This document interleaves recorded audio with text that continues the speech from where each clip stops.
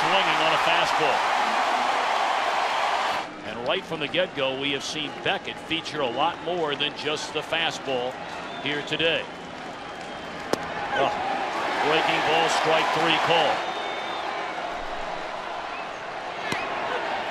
That's big league fastball right there, strike three. Scored four runs. He did own the place. Did settle down and pitch the way he's pitching right now.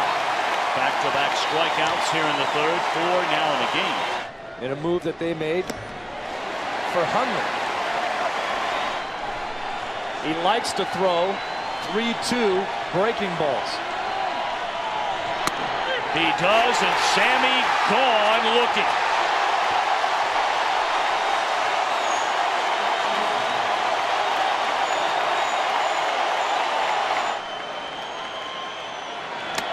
Yeah, he got him with the same pitch. A little higher, a little further in. Fastball up and in. That's a seventh strikeout. Breaking ball, strike three called, and Goodwin knew it. Eighth strikeout of the game. 0 2 on Ramirez. Beckett the pause. And the pitch. Breaking ball, strike three call.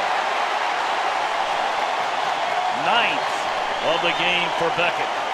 He's trying to spin the ball, turn it over, and you can really push it towards the hitter.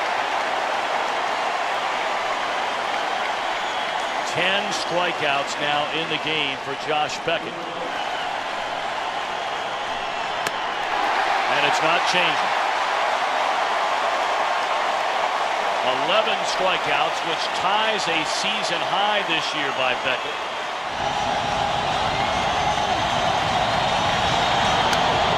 Tapper to short. Cub fans have waited 58 years to get to the World Series. They will wait 48 more hours to have a chance again. Josh Beckett denies the Cubs a chance to win it here in South Florida with just simply an electrifying Game 5 performance.